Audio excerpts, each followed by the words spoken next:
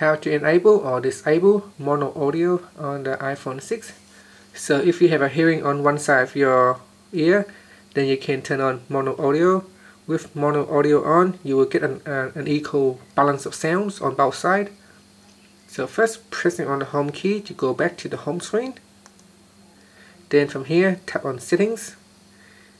Next tap on general and then tap on accessibility. Then you want to go down to the hearing section and tap on mono audio switch. So slide to the right to turn it on and slide to the left to turn it off. Once it is on you should hear sound coming from uh, both sides of the earphone. If it is in uh, digital mode sometimes uh, sound can uh, go from left to right or right to left.